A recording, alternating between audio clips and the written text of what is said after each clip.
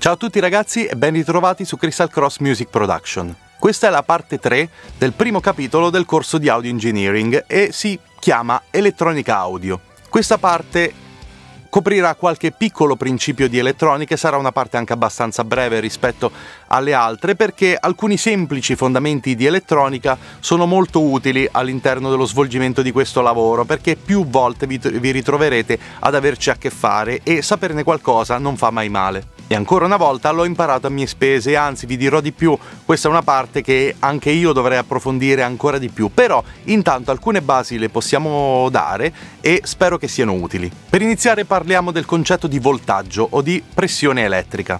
Il voltaggio è misurato in volt ed è un segnale audio sempre sotto forma di voltaggio alternato. Siccome la frequenza udibile da un orecchio umano, come abbiamo già visto, sono 20 Hz, 20.000 Hz, questo range qui, tratteremo delle frequenze che comprendono questo range.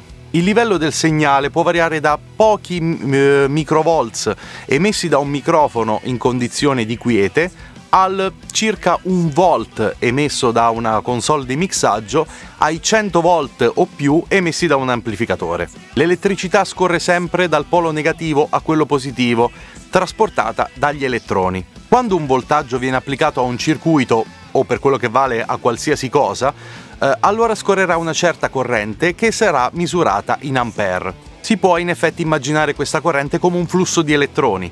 Eh, più il flusso è forte, più la corrente sarà maggiore. Alcuni materiali hanno una alta resistenza elettrica che sarà misurata in ohm e per questo sono dei buoni isolanti. E quindi più bassa sarà la resistenza, più alta sarà la corrente ad un certo voltaggio. E qui trovate la formuletta che vi aiuta a capire questo concetto. Quando il voltaggio è alternato si parla comunemente di impedenza che è analoga alla resistenza, ma appartiene a quelle situazioni in cui una corrente e un voltaggio eh, non sono in fase ed è anch'essa misurata in ohm. Esiste anche il concetto di reattanza, come si trova in un capacitore o in un induttore. Anch'essa limita il flusso di corrente ma in assenza di componenti resistivi, cioè che fanno resistenza. E l'impedenza è la combinazione di resistenza e reattanza, cioè è l'insieme di componenti che da soli fungono da resistenza o di altre cose che hanno una reattanza e quindi non sono costruiti come una resistenza ma svolgono una funzione simile. Il concetto di potenza è un altro concetto importante.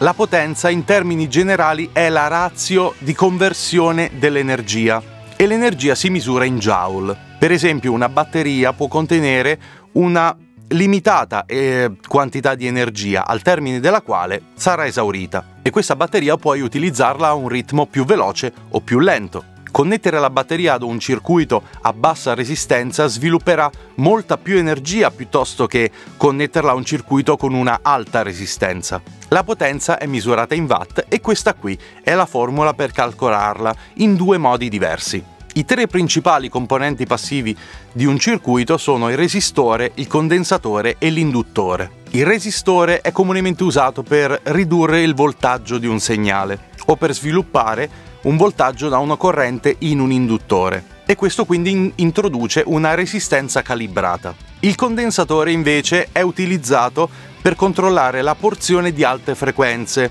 di un segnale, riducendo le basse. Un induttore invece è in sostanza un condensatore al contrario, riduce le alte frequenze e lascia scorrere liberamente quelle basse. È importante capire che questi concetti sono tutti teorici e per tradurli nel mondo reale bisogna realizzare dei componenti fisici e questi componenti vanno realizzati con i materiali, gli strumenti e le tecniche a disposizione. Alcuni componenti sono costruiti facilmente, altri invece sono più laboriosi da costruire e quindi più costosi da acquistare alla fin fine. E sono soggetti tutti a certe limitazioni a seconda del materiale che si usa, della tecnica che si usa e di tutte le scelte possibili e in base a questo otterremo il risultato prefisso con diversi gradi di precisione e con diversi gradi di efficacia. Beh ragazzi io mi fermerei anche qui perché questa è un'infarinata generale, non voglio spingermi oltre anche perché onestamente è un campo in cui con bisogna conoscere queste basi fondamentali, ah, ma ancora una volta per andare più in là ci sono persone molto più qualificate di me, specialmente in questo campo, nel campo dell'elettronica, in in cui sono un po' carente, lo ammetto, e se volete approfondire la cosa, rivolgetevi a persone che ne sanno e probabilmente intorno a voi, anche soltanto tra i vostri amici, ce ne sono svariati e questo è stato utile anche a me in passato. D'accordo ragazzi, direi che finiamo qua. Come sempre trovate qui sotto in descrizione il link per scaricare la piccola dispensina, in questo caso veramente piccola,